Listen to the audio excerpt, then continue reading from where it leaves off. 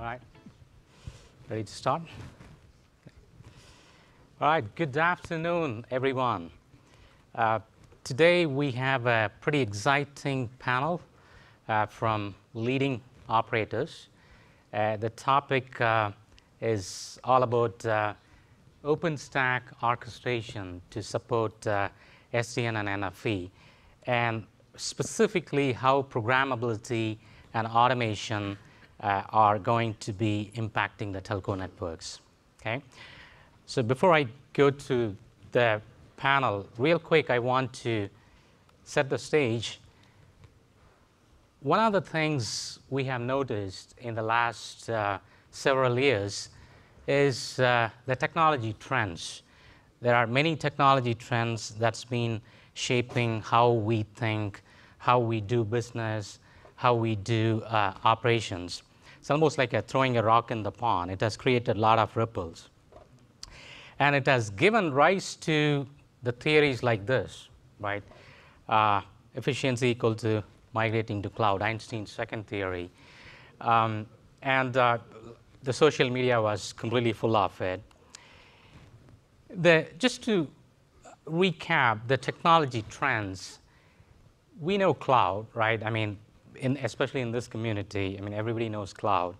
And um, cloud has been there around, and key thing that it brings is the rapid elasticity and resource pooling, and taking that concept and applying it to the network functions, more like uh, virtualizing it, uh, which provides you the network function scaling. That's the NFV. And the third one is the SDN, software-defined networking, which provides programmability, sort of taking that control and the data plane uh, elements separate, and provides you a common APIs, common programmable interfaces. So these are the technology trends. So what we are going to explore today is about orchestration. Okay, all these technologies are really good, but ultimately it comes down to how we can orchestrate. This is just a pretty straightforward uh, definition right from Wikipedia on orchestration. And we would not only talk about this, but also some of the experiences uh, from each of those operators. So having said that, um, let me introduce myself. My name is Swamy Vasudevan. Uh, I'm uh, with Ericsson in the SDN NFV Cloud Solutions. And with me, um, I'll go from my right, Javier from Telefonica, and then we have Greg from AT&T, and Fred from Verizon. Okay, um, and what I'm going to do is I'm actually going to ask each of the panelists to talk about how OpenStack is impacting their uh, networks as well as the businesses. Uh, and can we start with Javier? Yep, you know. Okay. Thank you. Okay. So, uh, I will do something that. Uh, Mike, mic's not working. mic, It's, is working? no, It's not working. You want to use this? there you go. That works. Now it's working. Can you hear me? No? No. what? So. it's the end of the panel for me. Yeah. You know what? Um, I'm kind of like see. wired does it no, it doesn't work. Is it on? Yep, that works. Now, it, Uh, now it did. I mean, using yours will be a bit awkward, but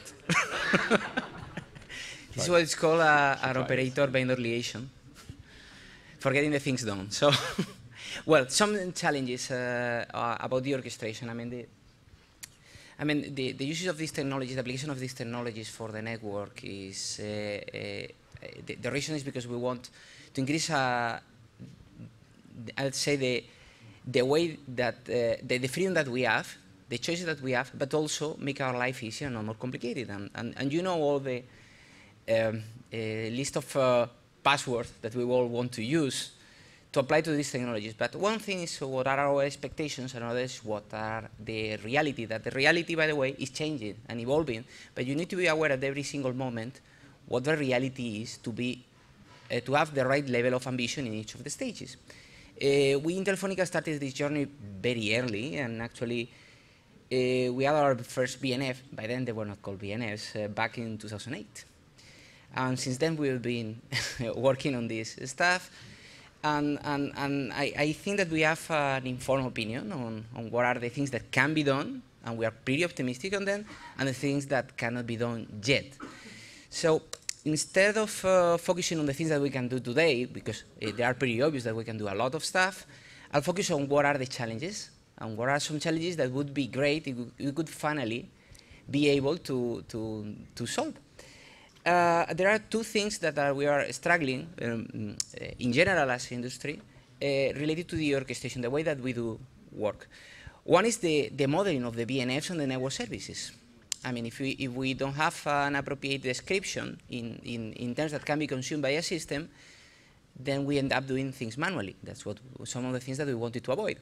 And the second is that, in, and, and this is very pertinent in this, in this forum, is about some of the limitations that, uh, that uh, cloud management systems have, and particularly OpenStack, because we are in this forum, uh, uh, on, on, how to deal with data plane workloads and interconnect them successfully. So I'll elaborate a little bit on them.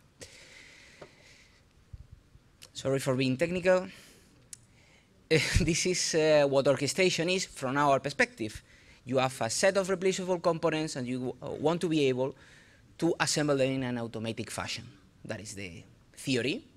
And you have your VNFs and you have your network service. That is what you build out of those pieces, those bricks, if you want. And then you have one process that is the onboarding, where you have uh, new VNFs that you purchase or build in-house that you incorporate into that catalog. And that is great because if you have some sort of blueprint of what you need to do, then the system will do it on your behalf. That is great, but any resemblance with the reality is merely casual, because actually what we have is, is an uneven modeling of the VNFs, which is in most of the cases inadequate and is completely unrelated even with the development, the things that the developer that was uh, creating that VNF intended to achieve. Then it's not a surprise that the onboarding is hard. And, and then you have a, a, a catalog like this, which is uh, difficult to handle. But hold on, we have the, the, the blueprint for developing the network service, but oh, perhaps it's a bit uh, rough. Hence, it's not a surprise that the integration, ad hoc integration is needed. So with that, if we are lucky, we end up with something like this. So, uh, well, I'm not saying that we are being over ambitious, is that, that we, it's a work in progress, okay?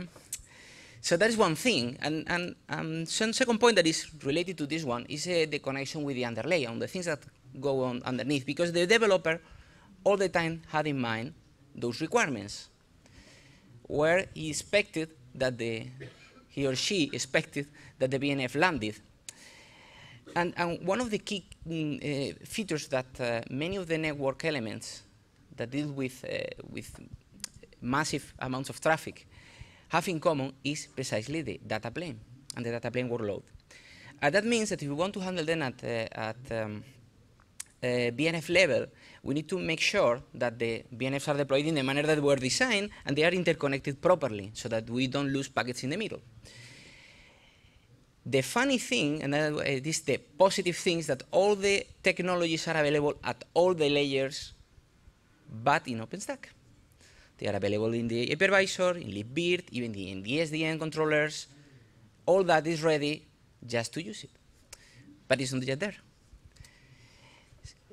in order to make it simple, I mean, what you have is some VNFs that deal with the data plane, and you want to interconnect them. And sometimes you need to interact with external sources or interconnect them in a manner that is as designed by the VNF vendor. The thing is that you need to pay attention to the three aspects, because there's a lot of misconfusion, and I think that we can elaborate later on in the panel session. What is about the resources that are assigned to the VM itself? So it's large enough, has the special type of memory, wherever that is needed, the way that the interfaces are managed, which is particularly challenging in a cloud management system because they are more oriented to uh, elements that only have one interface in most of the cases. And then how you handle the, mm, the, the underlay, because many of the connections can go in, in overlay, but many of the connections cannot. And the thing is that there are a set,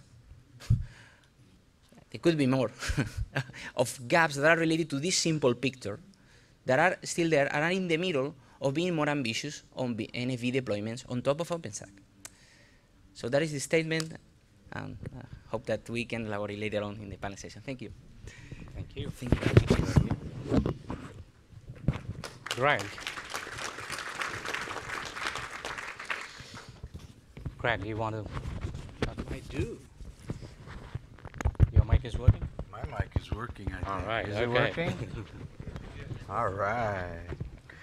Okay, my name is Greg Stiegler, and I'm uh, AVP Cloud from AT&T. Uh, for those of you who were here at the uh, opening keynote yesterday, uh, I know you saw my boss, Saurabh Saxena, uh, the Senior VP over Software Development and Engineering at AT&T. If you didn't see it, I highly recommend it. Uh, not just because he's my boss and I'm sucking up, but but it was really good. It was really good. It tells you a lot about our direction, a lot about where we came from, a lot about where we're going, and a lot about what we want to do. Okay? One of the pieces of that uh, is something that we've released in a white paper to the public called eComp. Uh, eComp, I'm, let's just not worry about the acronym. It's got a whole bunch of orchestration, O's the orchestration, okay? Um, so it is the orchestration engine that, that we are developing and looking to open source. And like we had 1,700 downloads of this white paper on the first day we put it on our website.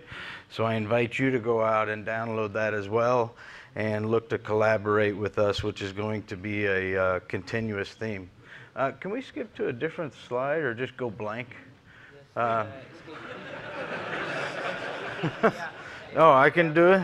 Okay. It's a strange, but it has a All right. I had I had two slides for today, but we cut them and we decided to go unplugged. So, um, which I kind of like anyway. Uh, so, so what I will tell you is that eComp is our foundation for moving forward with orchestration. I will tell you that the initial orchestration is not the hard part, right? Uh, it's once you have something up and running and you want to take action based on the events that take place, that is the key. Uh, so it's getting to those details and it's not creating a storm as well at that point in time where you, maybe you have a DDoS attack and you start spinning up more VMs or containers and, and you go out, you know, eventually you're going to go out of your data center walls. So that, that's one of the biggest keys is controlling that storm. Uh, from, from the AT&T story, we were a large contributor in the beginning of uh, OpenStack. In fact, we, we were on Diablo. That was also mentioned in the keynotes as, you know, for a couple people that were on Diablo and the pain we went through. Whoa, uh, the pain we went through on Diablo. I think somebody hit a switch they might not have hit, should have hit. Uh, but uh, it was nice to see you all. Um,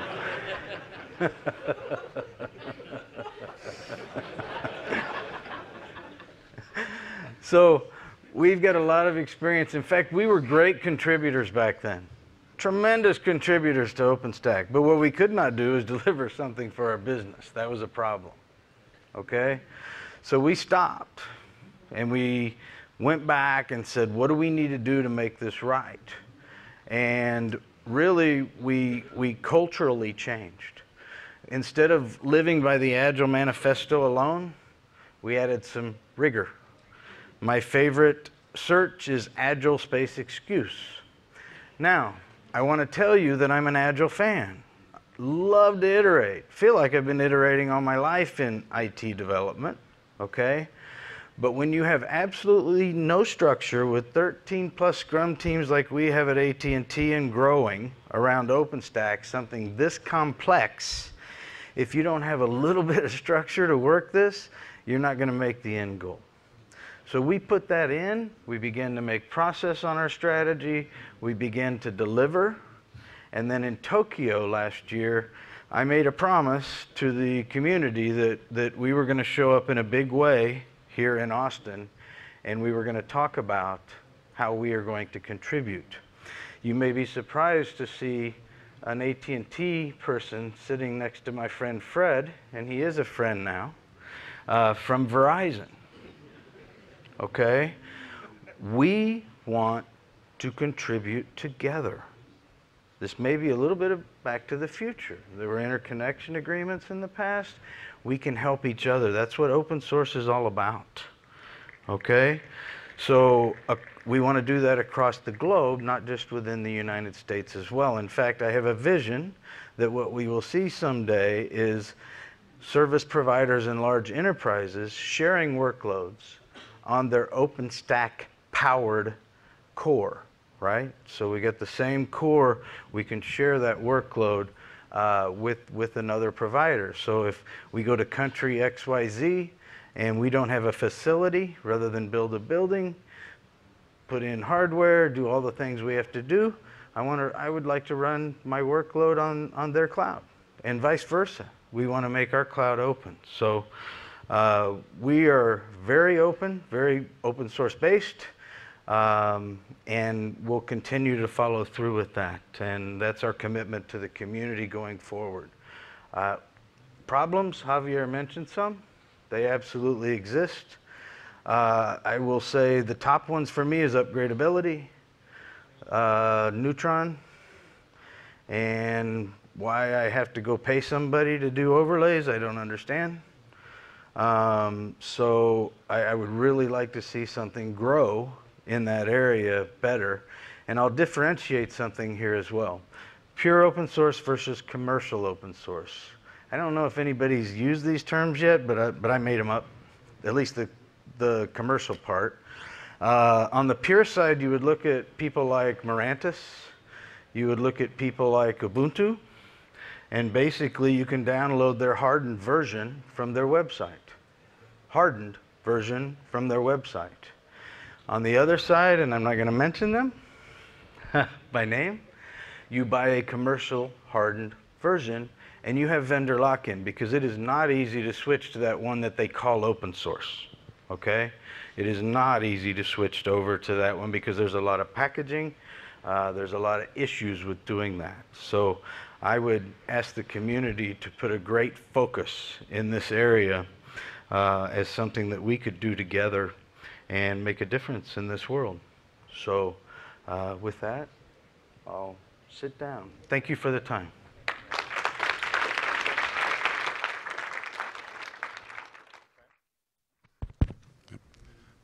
So again, and thank you very much. I'm Fred Oliveira from Verizon, and uh, kind of, we're uh, good friends now with Greg. Um, again, I, think we've been uh, Verizon working on a cloud environment for a fairly long time. Uh, we did deploy uh, internally stuff uh, back on Essex stuff way back when. in the meantime, I, think it's improved quite a bit, but it still has some pieces that are lacking. I think there, you know, Verizon sees this as a, great opportunity to uh, improve our business efficiency, uh, leverage some of the uh, capabilities that are coming up in the environment, and uh, improve agility, and uh, eventually uh, arrive at some operational improvements. Um, there certainly are, again, I'll reiterate a lot of the things that uh, Francisco Javier and Greg have mentioned. there's some certainly some pieces lacking in the uh, current implementations, both from the uh, uh, VNF vendor perspective. Some of the VNFs we get are not really suitable or ready to be run in a cloud environment per se. Orchestration is one of the mechanisms that we use to try to compensate for some of the things that are there. And we're, you know, looking to leverage all that capability. Um, again, I'll reiterate some of the things that I've said before. Some of the things that are kind of missing in the, or lacking in the environment are neutron and uh, kind of uh, packet, high packet rate processing is uh, still in the infancy for us, and we can certainly see some, ask for some improvement in there. Thank you. Thank you. Mm-hmm. All right, so we'll, we'll switch to some uh, panel questions. And, and I think uh, I'm hoping like uh, audience have the mic, so we can actually alternate between a question I ask and uh, one from the audience. Uh, this particular question, gentlemen, uh, the, the, one of the things reminds me of is uh, a conversation I had with uh, my son. It's a pretty candid conversation uh, about life and death. Okay, and um, so he asked me, uh, "Are we all going to die, Daddy?" And I said, "Yes." Uh, are you going to die? Yes. Uh, are, am I going to die? Yes. Uh, and um, I asked him, like, why are you asking it? And the answer he gave me was pretty interesting. He said, when you die, I want your iPhone. Okay? All right? So um, the reason he's, he said was because he wanted to uh, do the complete uh, video streaming and online gaming. Um, so interestingly, that puts a lot of pressure on the network and how agile it should be, uh, changing as, as fast as it can be. So I want to ask you guys, did OpenStack enable you to deploy new services uh, in a flexible manner, in a faster manner? Uh, and if so, an example. So maybe I'll start from the other side. Fred, you want to go?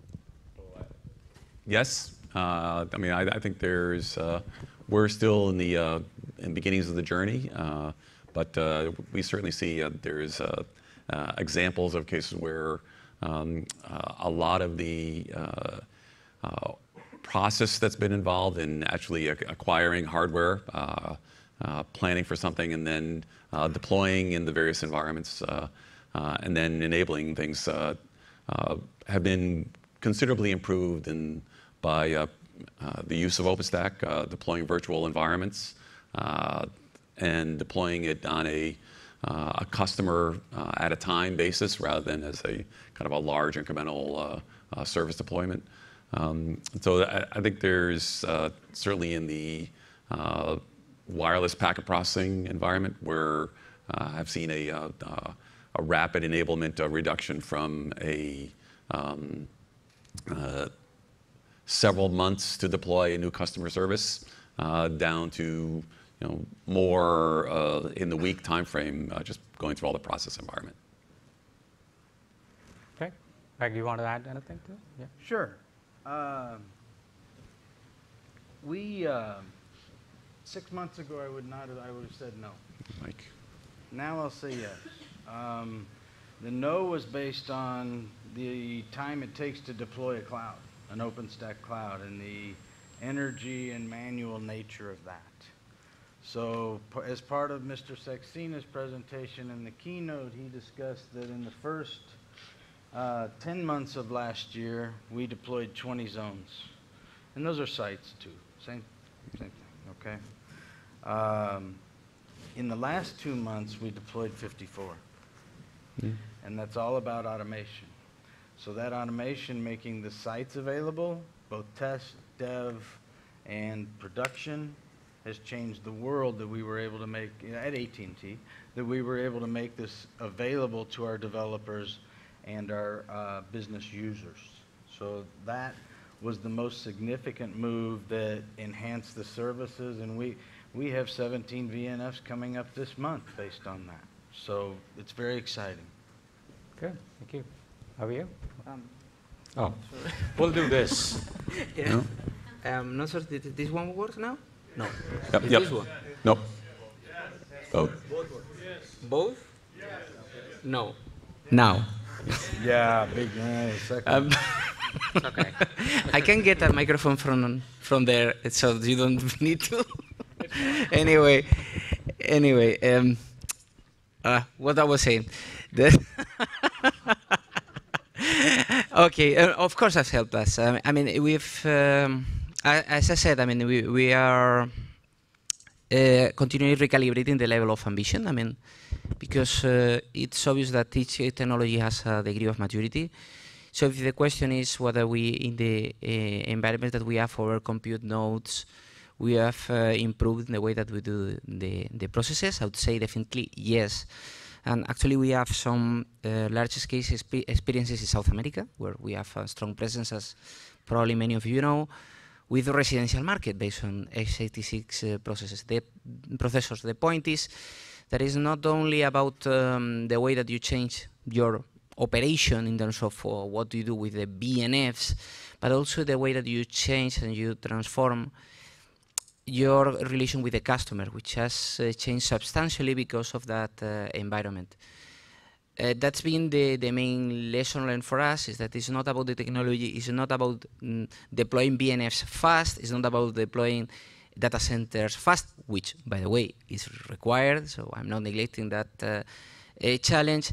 But what is actually challenging is uh, in, in, in, the, in the end is to be able to change your relation with the customer for the good, if possible and, and, and leverage on the, the, new capabilities that those platforms have in order to be, be faster, uh, be more responsive, and be able to offer uh, things that are that really matter for, for that customer. That is, the, the process would we have changed substantially the way that we operated the network, particularly in the, in the places where we have some NFV-related deployments in place.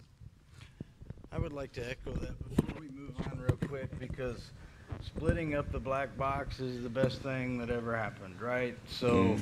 uh, taking taking the proprietary hardware, making a commodity hardware, taking the software, and and making it software that runs on commodity hardware. Now, not everybody's got it right yet because it's not native. I think they stripped it off the black box in some cases. Uh, so we need that to be cloud native and written the right way, and we're working with our partners on that. Uh, but, but an absolute huge key to giving the control to the customer to be able to manage and change their services on the fly. I totally agree, Javier. Yeah, I agree with also.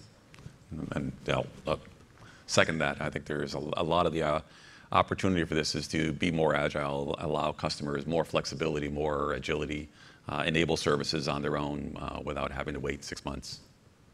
Okay, thank you. Uh, maybe we'll see if there's one question let's take from the audience. If you have any questions. If not, I'm going to ask uh, another panel question. All right, so one of the things um, want to uh, ask you guys is uh, what are the key deficiencies of OpenStack uh, that you have encountered in achieving your desired level of automation. Uh, you want to go, Javier, first? Yeah. Now that I have a microphone. Yeah. Hopefully it works. yeah. So uh, I would say deficiencies because uh, I mean I know that are, all these technologies are in quick evolution, so it would be unfair saying that we perceive them as deficiencies. But it's obvious that there are things that are, mm, from our perspective, missing uh, which are related to the kind of new, set, I mean, with the new set of use cases that we are as um, sales providers bringing on top of the table.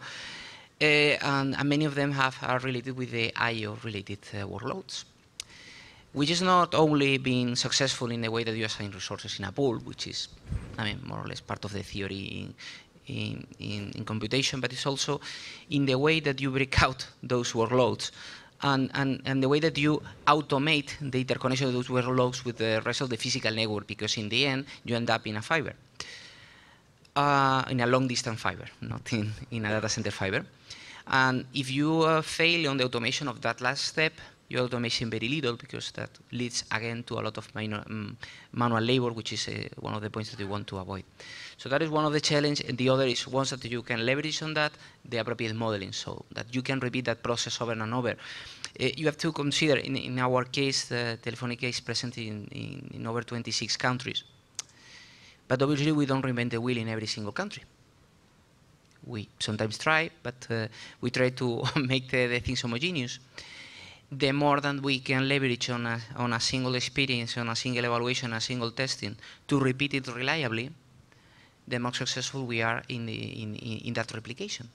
And that requires, of course, that automation. So for us, it are key those two elements to give uh, um, a step further in, in that evaluation, because, in, in that uh, uh, deployments. Because besides that, we have no doubts that uh, the servers are perfectly capable of handling most of the workloads that we that, that we consider as relevant are capable of scaling at the uh, at the locations where we consider that they might add value.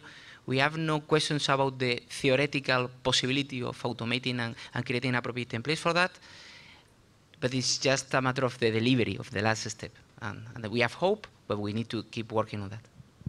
Okay. I'm okay. Oh. All right. I think. Okay. Um, the um first thing I want to say is if you don't contribute, don't complain. Seriously. I, I don't mind the complaints, they're, they're okay, but make them constructive and get involved. Okay, that, that's what really needs to happen. I am so grateful for this OpenStack community for launching what it launched because we could not have done this on our own. There's no way in this time frame we could have done this on our own. So I am so grateful to the community. Now, with that said, now that we're getting back in the contribution game and we're doing good, my curve's going up this year, I do have a couple things to say. So let's start with the foundation's ratings of some of the modules. Ceilometer, two out of eight. That's no good. Mm-hmm. It's got to get better and it's got to get better faster. It's too critical. Okay, the telemetry is too critical to what we do. The ability to have insight into those things has to happen. Okay, so that's one. Containers would be another one. So we're kind of talking about Magnum, we're kind of talking about other stuff and different ways of doing it. I'm not saying there only has to be one way, but there shouldn't be 20. Okay? Uh, we should lock into some things or at least some reusable assets that allow people maybe some freedom to do saying things their own way, uh, but, but it would be limited. But it would be limited. And, uh, and I, I would just have to come back to Neutron again for the last time. So, anyway, Yeah, well, I'll, I'll just bang on Neutron as well. okay. No, I, I think, certainly I think there's, um, uh, uh, again, OpenStack is a, a, a very useful tool in general, uh, and, it- but it, and it's one tool, I think it's actually uh, incumbent on uh, a lot of the things uh, that surround it to deliver a, a full service. Uh, so again, I'll, reiterate the ceilometer, I think, and telemetry in general uh, is one of the kind of things that uh, we see as lacking. Uh, and uh, you know, we're we don't contribute, unfortunately, uh, but that's certainly some of the areas that we're uh, looking to contribute in terms of uh, requirements and specifications as well as just uh, code. Uh, but I think there's uh, certainly value there, and, uh, things are moving rapidly. Uh, I think there's uh, certainly more and more coming out of it.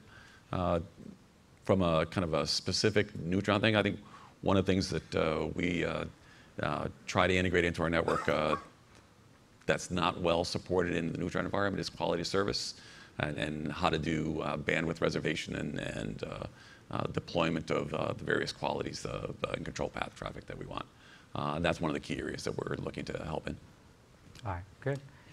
May I add something uh, about the um, uh, contribution topic that uh, perhaps is uh, is uh, often misinterpreted, and I, am certain that it's not the case. But I mean, in, in economics, as you probably know, the most valuable is the most scarce. And in, in many cases, uh, there are many types of contributions, which uh, happen that i- in this uh, in this floor are happening in all the levels, almost all the levels, and I, I only can speak on behalf of Telefonica, which has been contributing actively in all the levels, including the software for a long time. But I would say that there are many service providers that can afford contributing directly to the software. And I still have a deep respect for that, and I am particularly uh, want to give a note on the on some service providers uh, who have provided an extensive analysis of what, is, uh, are the application and the assessment that they made of OpenStack in some use cases that they wanted to deploy for real in the short term. Um, sometimes it has been misinterpreted, and since it's not, uh, in our case, I can say it freely, as if they were uh, saying that OpenStack was not valid for them, or they gave up with OpenStack. It's exactly the opposite, uh, in my view. I mean, those inputs first, uh, we have uh, perceived in Telefonica as a very useful insight on things that we had not even considered, in use cases that we, are we were considering as well for real, and we hadn't even noticed. And second is that for the community that is reasonably IT related, and, and most of the expertise is based on IT, they are extremely useful, uh, useful feedback. I, I have in my mind, uh, for instance, the contribution from British Telecom, talking about the, the um, virtual CPE for, for uh, uh, enterprise uh, environment, where they made very valid points, and perhaps they are not contributing millions of lines of code, Not one. or or they or they are but i think that putting in a, in a in, in, comparing in weight in the moment in this moment in time what they are contributing in terms of knowledge is huge and is extremely valuable and i understand that it should be perceived as something useful for the community and constructive um, and i know that many other service providers are hesitant whether that kind of message would be perceived as a back off from, from for the uh, OpenStack community or not. And I, I would like to invite you to read them in a different manner, in a, in a constructive manner of uh, bringing them their experience to make things better. Yes, so Okay. obviously we disagree to some degree. We, we have a middle ground here. What I will tell you is that we have a small service provider event this evening. I, I can't invite everybody, it's a small one. A lot of C-levels, you know, up here. Um, and British Telecom's invited. So we would like to welcome them with open arms. We just want I, I can pay a consultant for feedback. Okay? So we want people with skin in the game and not just blood sucking. So that's about as blatant as I can be. Okay. I guess we are a little bit over time. Can we take one or two questions from the audience? If anyone wants to ask a question? Microphone. Ah,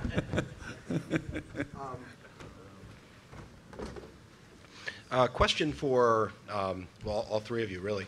Um, You mentioned with VNF vendors that you saw that they weren't maybe quite ready yet, or at least a lot of them weren't ready yet. So what are the primary deficiencies that you see with the uh, the VNF vendors at this point? Well, I'll try to answer that. I think I brought up that issue.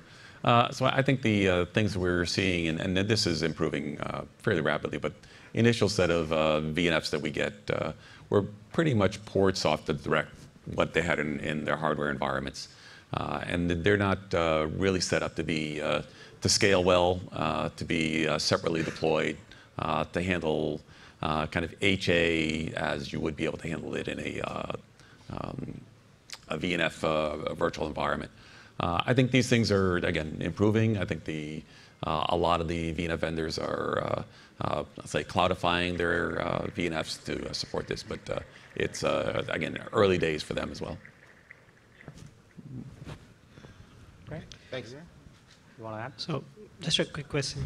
Um, Or no? Oh, you don't have. Yes. Um, logistics is getting very complicated.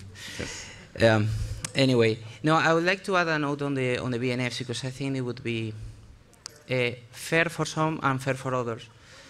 Uh, uh, we've, uh, as you know, will, many of you know because it's public information. We've uh, an open lab for a VNF evaluation with over 50, 57 VNFs evaluated so far, and keep counting for many purposes. And I would say that there are two big uh, um, conclusions from my perspective. One is there's a lot of extremely serious stuff out there. Another that is they have not even given it a thought. Is, and the second thing is that uh, that uh, degree of maturity is surprisingly unrelated to the size or the brand of the vendor behind. It's uncorrelated which means that there are big vendors with big B- with excellent VNFs, big vendors with awful VNFs, and the the other two combinations. And and so I mean, we should be able is to distinguish and to send the right messages uh, to the VNF vendor community or what are the kind of things that we want to see. But I wouldn't be op- mm, pessimistic because we are clearly seeing an evolution over the time on the, maturi- on the maturity of the VNFs. Uh, uh, and that is, mm, is, is worth uh, acknowledging that that effort is happening at the industry level. It, it's, it's actually happening for all of us, right? It's, it's happening within all of our big businesses where we have to transform. And the same thing is true for the vendors in this case. So, um, that's all. All right. Uh, Unfortunately, we are almost run out of time. Uh, The one thought I want to leave you guys with is, um, there was a little boy who uh, goes to a balloon vendor and, um, you know, asks if the red balloon is going to fly high. Uh, And the vendor says yes. And then he's asking whether the green balloon is going to fly high and so forth.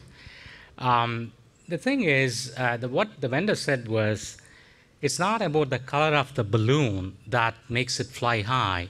It's actually what's inside the balloon that makes it fly high. Okay, and it's you guys. You are the community, and uh, and the collaboration. That's what makes all of us fly high. Okay, so thank you so much, and uh, thank you for all the panelists, and it's a very good uh, discussion. Thank you all.